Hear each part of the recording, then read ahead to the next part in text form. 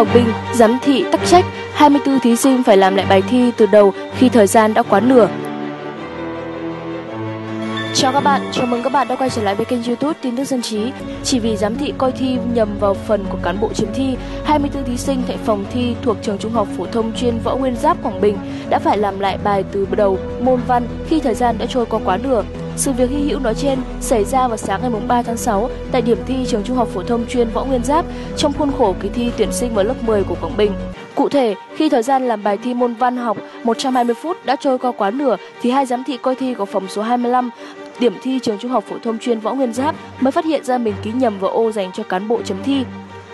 Khi phát hiện ra nhầm, hai giám thị đã yêu cầu tất cả 24 thí sinh của phòng thi làm lại bài trên tờ thi giấy mới. Khi thời gian đã trôi qua quá nửa, phải làm lại bài từ đầu tiên nên nhiều sĩ tử đã òa khóc ngay tại phòng thi. Được biết, hai giám thị coi thi hiện là giáo viên của trường trung học phổ thông chuyên Trần Phú, huyện Bố Trạch. Em đã làm được hơn một nửa đề thi thì giám thị phát đề mới để làm lại vì, vì ký nhầm. Cả phòng thi lúc đó đều hoang mang nhưng cũng phải đành ký lại tờ giấy mới làm lại từ đầu.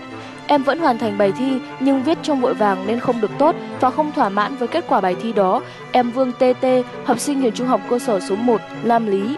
Buồn bã nói, cũng giống như em T, thí sinh Hoàng Thị HT, chú tại huyện Quảng Ninh cũng rất bức xúc và buồn vì không thể thực hiện tốt bài thi môn văn bởi thời gian chép những câu đã làm mất quá nhiều thời gian. Sau sự cố này, Sở Giáo dục và Đào tạo Quảng Bình đã tổ chức một cuộc họp khẩn đối với tất cả các phụ huynh và thí sinh thuộc phòng thi số 25, điểm thi trường trung học phổ thông chuyên Võ Nguyên Giáp để bàn phương án xử lý, đồng thời nói lời xin lỗi với các phụ huynh và các thí sinh. Phía Sở cũng đã cho đình chỉ công tác coi thi đối với hai giám thị tắc trách gây ảnh hưởng đến các thí sinh dự thi. Cũng trong cuộc họp chiều ngày 3 tháng 6, ông Đinh Quý Nhân, Giám đốc Sở Giáo dục và Đào tạo Quảng Bình đã đưa ra phương án sẽ tổ chức cho các thí sinh phòng thi số 25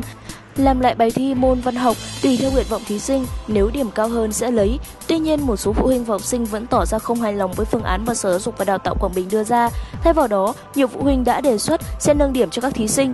Cũng liên quan đến kỳ thi tuyển sinh vào 10 tại Quảng Bình, đề ra của môn văn trước đó cũng gây xôn xao vì giống hệt với đề kiểm tra hết học kỳ 2 của trường trung học cơ sở trên địa bàn thành phố Đồng Hới. Việc đề thi tuyển sinh vào 10 lại giống đề thi hết học kỳ 2 của Phòng Giáo dục và Đào tạo thành phố Đồng Hới cũng làm mất đi tính công bằng, minh bạch của kỳ thi. Đặc biệt, gây thiệt thòi cho học sinh của các huyện so với học sinh của các trường học tại Đồng Hới khi tuyển sinh vào trường trung học phổ thông chuyên Võ Nguyên Giáp. Điều này còn gây bức xúc cho các bậc phụ huynh và ảnh hưởng tới tâm lý của các em học sinh ngay trong kỳ thi. Dân trí sẽ tiếp tục đưa tin về hai sự việc nêu trên. Nhớ like và subscribe kênh youtube tin tức dân trí để cập nhật tin tức mới nhất mỗi ngày các bạn nhé. Sơn La nâng điểm thi giá 1 tỷ đồng bằng lương 30 năm làm nghề giáo.